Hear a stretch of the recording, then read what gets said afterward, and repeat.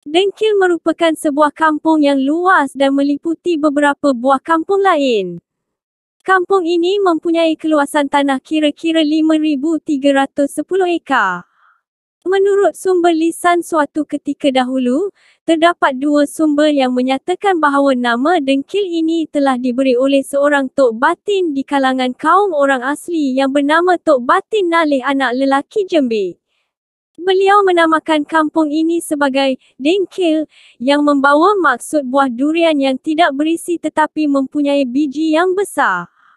Pada ketika itu terdapat banyak pokok durian hidup di tebing sungai Langat yang kerap berbuah dan disebut oleh orang asli sebagai dengkil. Dan lama kelamaan sebutannya telah berubah menjadi dengkil. Selain itu, ada pula yang menyatakan bahawa nama dengkil berasal dari sungai Langat yang dengkat atau maksud lain kawasan sungai yang lebih cetek sepanjang sungai tersebut.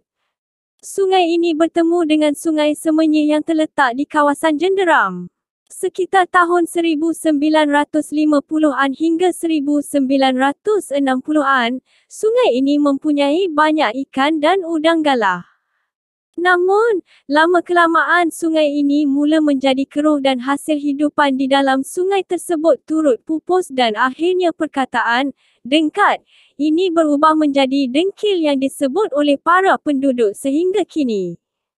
Why